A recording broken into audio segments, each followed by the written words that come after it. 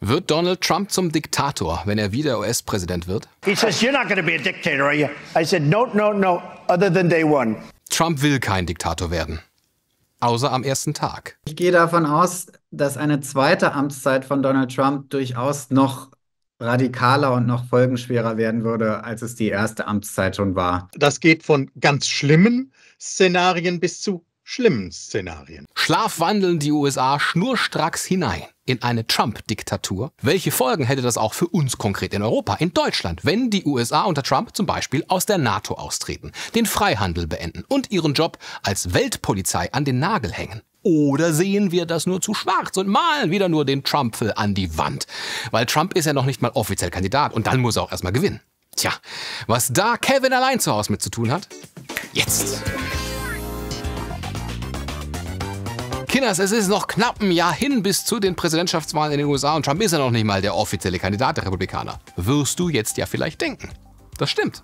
Gleichzeitig, Trump liegt in den Umfragen weit vor seinen ärgsten Konkurrenten, Ron DeSantis und Nikki Haley. Und zwar relativ konstant. Trump liegt immer so um die 60 Prozent, Haley und DeSantis bei so um die 12 Prozent. Also, America, Trump Country? Auf der einen Seite gibt es natürlich die großen Trump-Fans. Das sind vor allem sehr religiöse Konservative, die Trump dafür feiern, was er in seiner ersten Amtszeit für sie erreicht hat. Dass er einige erzkonservative Richter an den obersten Gerichtshof geschickt hat, die dann zum Beispiel das Recht auf Abtreibung gekippt haben. Dann gibt es natürlich diejenigen, die einfach unzufrieden damit sind, wie es aktuell unter Biden läuft. Die sagen, na, unter Trump, da war die Inflation noch nicht so ein großes Problem, da hatten wir mehr von unserem Geld. Auf der anderen Seite gibt es aber natürlich die Menschen, die Angst haben vor einer zweiten Amtszeit von Trump. Die befürchten, dass er sich nicht an demokratische Spielregeln halten wird oder dass er die Rechte von Frauen und Minderheiten einschränken könnte. Insgesamt muss man aber sagen, Präsidentschaftswahlen hier in den USA, die werden vor allem darüber entschieden, wie die Leute die aktuelle Lage der Wirtschaft einschätzen. Also ob sie zufrieden sind damit, wie es in der Wirtschaft läuft, ob sie einen Job haben, ob sie ihre Rechnungen bezahlen können. Wenn ja, dann hat die Regierung durchaus gute Chancen, wiedergewählt zu werden. Falls nein, dann wird es sehr schwierig für beiden. Hier kommt jetzt Kevin ins Spiel. Kevin allein zu Hause. Komödie aus den 1990ern. Seine Familie fliegt in Urlaub und vergisst ihn daheim. Dann kommen Einbrecher und dann machst du action kram Ja, war witzig damals. Aber ein wichtiges Detail. Kevin geht einkaufen. Ganz normales Zeug, Milch, Brot, Waschmittel und zahlt dafür knapp 20 Dollar. In den USA ist es gute Tradition, dass Medien diesen Einkauf immer mal wieder nachstellen, um zu zeigen, wie sich die Preise in den USA entwickelt haben über die letzten 30 Jahre. Das heißt, die kaufen ein, was Kevin eingekauft hat und gucken, wie teuer ist das dieses Jahr? 2022 musste man für dieselben Dinge, die Kevin im Film angekauft hat, schon gut 40 Dollar zahlen. 2023 sind es gut 70 Dollar, macht insgesamt eine Steigerung von knapp 250 Prozent. Was man sagen muss, 1990 lag das Durchschnittseinkommen in den USA bei rund 40.000 Dollar im Jahr, 2022 bei etwa 80.000. Also, die Preise haben sich verdoppelt, das Einkommen aber auch. Das heißt, die Kaufkraft ist gleich geblieben. Jetzt, 2023, sind die Preise aber nochmal deutlich gestiegen. Das Durchschnittseinkommen ist aber gleich geblieben. Heißt, hoher Kaufkraftverlust. Natürlich wegen der Inflation, die uns und auch die USA knallhart getroffen hat und für Biden zum Problem werden kann, weil bei Trump war es halt nicht so, dass Trump und Biden da nicht unbedingt was für können. Wurscht. Aber deswegen warnen viele. Trump kommt zurück. Und dann ebnet er den Weg hinein in die Diktatur. Nun, es ist eine Gefahr, die momentan insbesondere an die Wand gemalt wird, um davon, die Leute davon abzuhalten, Trump zu wählen. Insofern wird das ein bisschen überzogen. Aber es ist nicht von der Hand zu weisen. Trump ist kein Demokrat. Trump hat auch in der ersten Amtszeit gedacht, dass die Regierung ihm gehört, dass sie seinen persönlichen Interessen dienen muss, dass der Justizminister sein verlängerter Arm ist, der in alles hinein ermitteln kann. Und das würde er in einer zweiten Amtszeit viel intensiver umsetzen, weil er dann eben auch die Leute um sich hat, die genau so denken. Da geht es vor allem um sogenannte Think Tanks, angeführt von der Heritage Foundation. Unter dem Namen Projekt 2025 bereiten sie die erhoffte zweite Amtszeit von Ex-US-Präsident Trump vor und sagen, wir werden eine ganze Armee loyaler, gut vorbereiteter und politisch gut bewaffneter Konservativer zum Einsatz bringen für die Schlacht gegen den Deep State ein ominöser Schattenstaat. Für Trump geht es da vor allem gegen Biden und die Demokraten. Am Ende geht es einfach darum, dem US-Präsidenten mehr Macht, mehr Durchgriffsmöglichkeiten zu geben. Also so viel zu seinem Spruch. He says, You're not going to be a dictator, are you? I said, No, no, no, other than day one. In dieser äh, Formulierung und mit dem Augenzwinkern, wie er das in diesem Interview gesagt hat, war es nicht ganz ernst gemeint. Das bedeutet jedoch nicht, dass man die autoritären Neigungen von Trump nicht ernst nehmen muss. Man muss sie sehr ernst nehmen.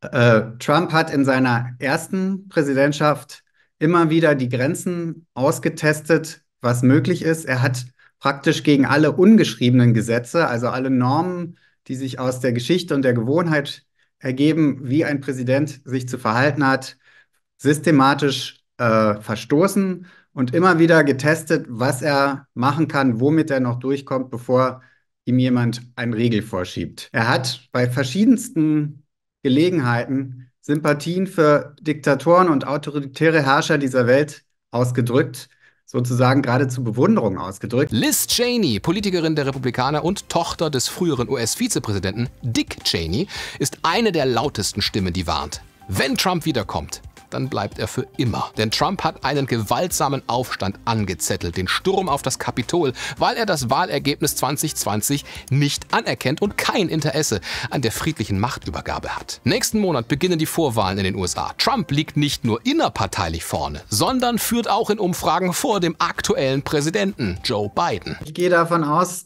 dass eine zweite Amtszeit von Donald Trump durchaus noch radikaler und noch folgenschwerer werden würde, als es die erste Amtszeit schon war.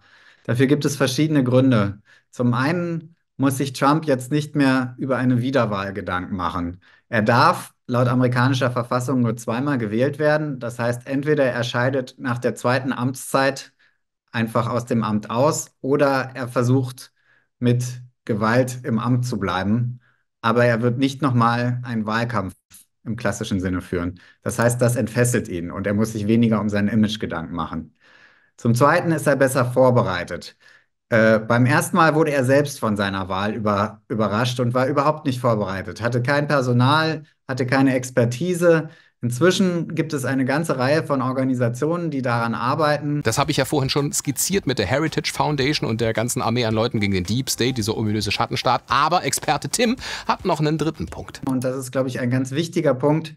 Ist die Weltlage heute noch krisenhafter, als sie es während seiner ersten Amtszeit war?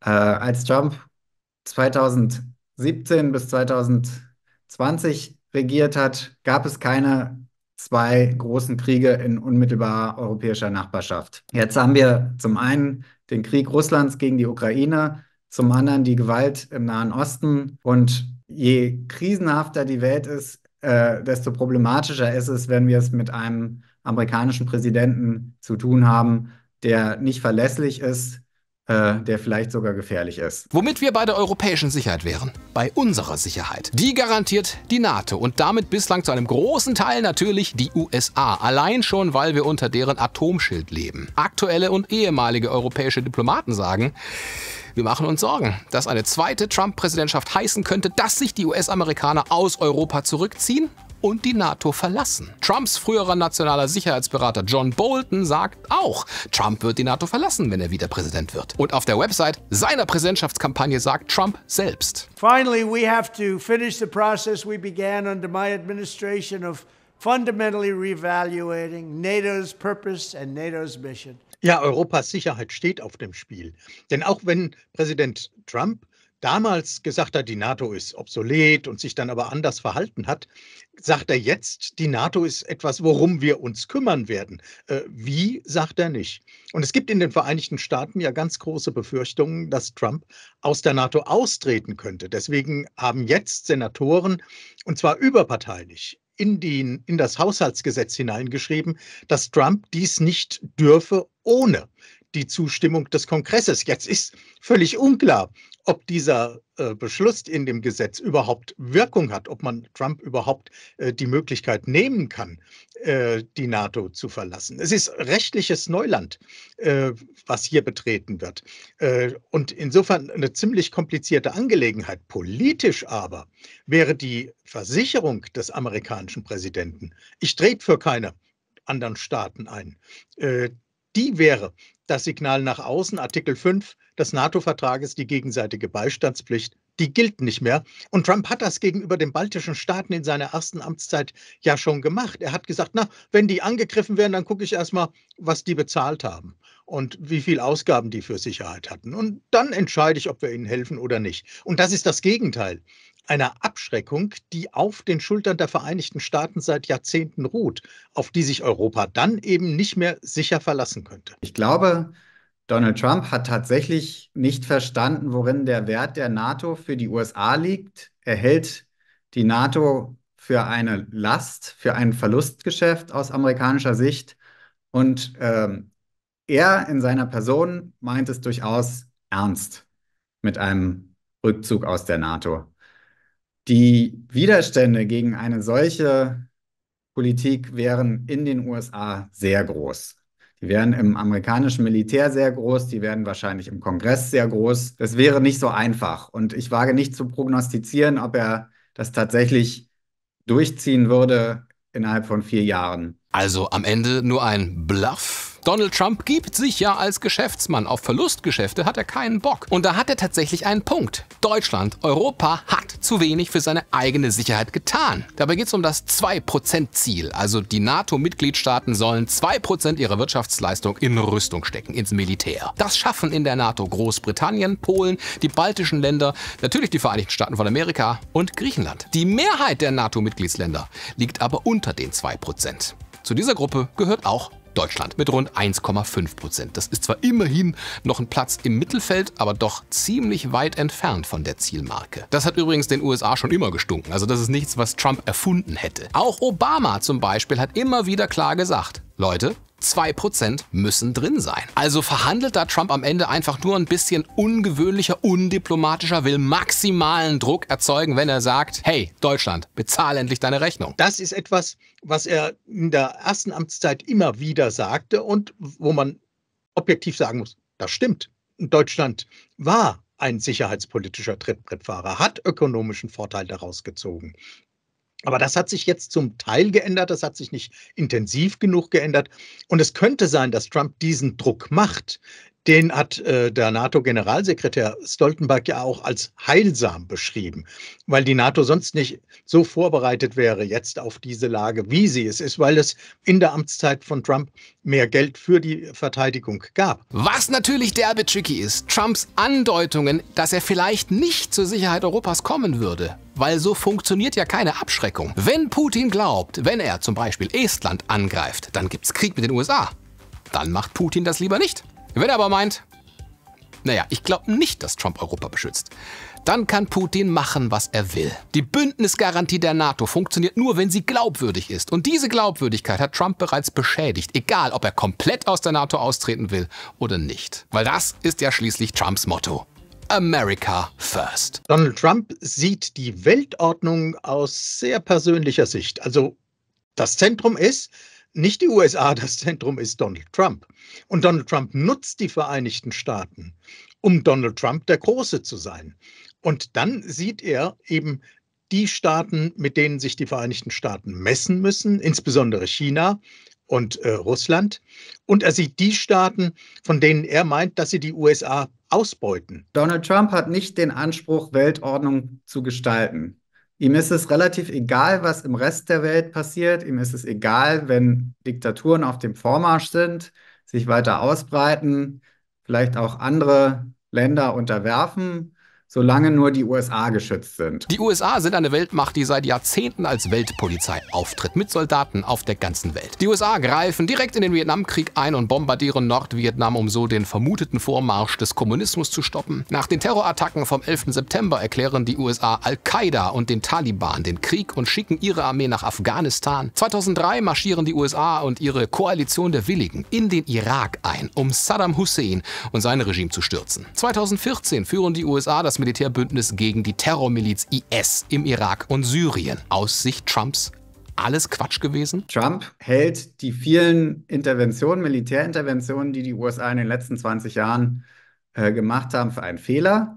Insbesondere wenn es um größere Ziele wie den Erhalt der Weltordnung geht oder die Unterstützung anderer Länder, Verbündeter, anderer Demokratien, dann will er das nicht weitermachen. Das heißt natürlich nicht, dass Trump ein friedfertiger Präsident war. Unter Trump haben die USA die sogenannte Mother of All Bombs, die größte nicht-atomare Waffe der USA gezündet im Kampf gegen den IS in Afghanistan. Also Trump ist durchaus bereit, Gewalt einzusetzen, aber diese Rolle als Weltpolizei, die überall zur Stelle ist, wo es brennt, die sieht Trump nicht. Und das hat aber doch unmittelbar mit der Rolle als Weltmacht Nummer eins zu tun. Und die sollen die USA ja bleiben, auch unter Trump.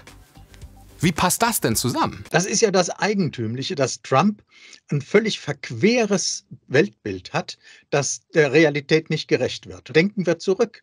Unter Barack Obama sind Freihandelsabkommen in Asien und mit Europa verhandelt worden, die man äh, quasi nutzen wollte, um China ökonomisch ein wenig zu isolieren, um jedenfalls mehr Vorteile als China in diesen Handelsbeziehungen zu haben. Und was hat Trump gemacht?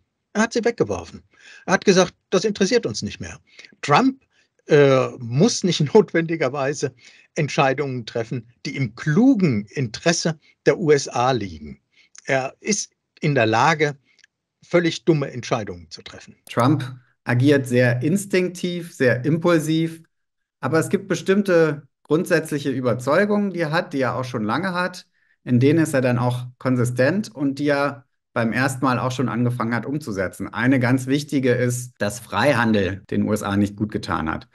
Also Trump ist ein Anhänger des Protektionismus. Er sieht Handelsdefizite, wie die USA sie mit Europa und mit China haben, als großes Problem an und er will diese Handelsdefizite beenden und das mit allen Mitteln. Er hat zu diesem Zweck Handelskriege begonnen in seiner ersten Amtszeit, sowohl mit China als auch mit Europa. Und das Interessante daran ist, dass er damit auch bei den Wählerinnen und Wählern einen Nerv getroffen zu haben scheint. Denn diese Art der Handelspolitik ist mit kleinen Korrekturen auch unter der Biden-Administration beibehalten worden. Trump sieht wirtschaftliche Beziehungen nicht als Win-Win-Situation, sondern häufig als Nullsummenspiel. Das Handelsdefizit der USA nach Deutschland war für ihn ein großes Problem und deshalb hat er Zölle auf europäischen Stahl und europäisches Aluminium verhängt. Eine wertegeleitete Außenpolitik ist für Trump nicht die Maxime. Man kann auch mit Diktaturen Geschäfte machen. Wenn einem sozusagen die Menschenrechte und sämtliche normativen Vorstellungen völlig egal sind, kann man ja auch mit autoritär regierten Staaten munter Handel treiben. Im Energiesektor ist das ja die Normalität, dass wir eifrig äh, Öl und Gas aus dem Persischen Golf äh, kaufen, obwohl die Regierungen dort vor Ort alles andere als demokratisch sind. Und äh, so geht das natürlich auch mit anderen Ländern. Also wenn man diese ganzen idealistischen, normativen Ziele nicht hat, dann kann man natürlich auch mit autoritären Staaten Geschäfte machen. Und das ist dann kurzfristig gedacht, eng gedacht, aus amerikanischer Sicht vielleicht genauso gut. Und genau da sind wir wieder bei dem Punkt vom Anfang. Trump trifft irgendwie einen Nerv in den USA. Egal wie weird wir vielleicht seine Definition von Außenpolitik finden mögen. Niemand wählt Trump wegen seiner Außenpolitik. Trump wird gewählt, weil er eine Lücke im äh, amerikanischen politischen System gefüllt hat, derer, die unzufrieden sind. In den USA gibt es eine tiefe Polarisierung und Trump hat sich auf eine Seite geschlagen. Er wollte nie die USA versöhnen, sondern hat die Linken, die Demokraten zu Feinden der USA im Innern erklärt und hat sich damit zu dem ersten und wichtigsten Sprachrohr der Rechten gemacht, die sich jetzt als Opfer empfinden. Die denken, sie werden nicht anständig behandelt. Der, der Staat geht mit ihnen nicht gerecht um. Und Trump sagt, na, ich bin der, mit dem Sie am ungerechtesten umgehen. Ich bin der, der eure Interessen verfolgt. Und äh, das ist ja doch schon bei seiner ersten Wahl äh, ein, ein Mysterium gewesen, dass sich ein Milliardär hinstellt und sagt, ich bin der äh, Vertreter und der Repräsentant der Entrechteten. Und ihm gelingt es jetzt wieder, das ist ja das Paradoxe, mit jeder Anklage wurde Trump weiter als Opfer stilisiert, konnte sich so darstellen und seine Anhänger die sind in dieser Meinungsbildung inzwischen so fest gefangen, dass sie ihm in seiner Politik folgen. Ja, und was machen wir jetzt damit? Ja, es gibt viele Anzeichen, dass Trump wiederkommt und viele Befürchtungen, dass es dann echt nicht gut um die USA bestellt sein wird. Beziehungsweise für uns als bisheriger enger Partner der USA, vor allen Dingen in Sachen Sicherheit, trifft die Befürchtung ein, dass es mit Trump dann einen weiteren Despoten in der Welt gibt, der sagt, Die Starken teilen nun mal die Welt unter sich auf. Schreib mir deine Meinung gerne in die Kommentare. Natürlich gehört da auch die Frage rein, was passiert denn mit den vier Strafverfahren gegen Trump? Selbst im Gefängnis könnte Trump theoretisch noch vereidigt werden und als erste Amtshandlung sich selbst begnadigen. Außer beim Verfahren in Georgia. Dort drohen ihm zwischen 5 und 20 Jahren Gefängnis und eine Geldstrafe. Das ist sehr komplex. Im Bundesstaat Georgia sind Begnadigungen anders geregelt und Trump könnte das erst nach fünf Jahren in Haft versuchen. Nach dem Willen der Staatsanwaltschaft soll der Prozess gegen Trump in Georgia am 4. März 2024 beginnen. Possoch klärt, bleibt auf jeden Fall dran. Denn für deine Likes tue ich fast alles. Und jetzt kannst du auch nochmal das Abo dalassen für BR24, denn, das habe ich häufig genug gesagt, das muss jetzt drin sein. Wir haben Ende 2023 24. BR24 ist besser im Abo. Merci und ich sehe dich gesund im nächsten Video.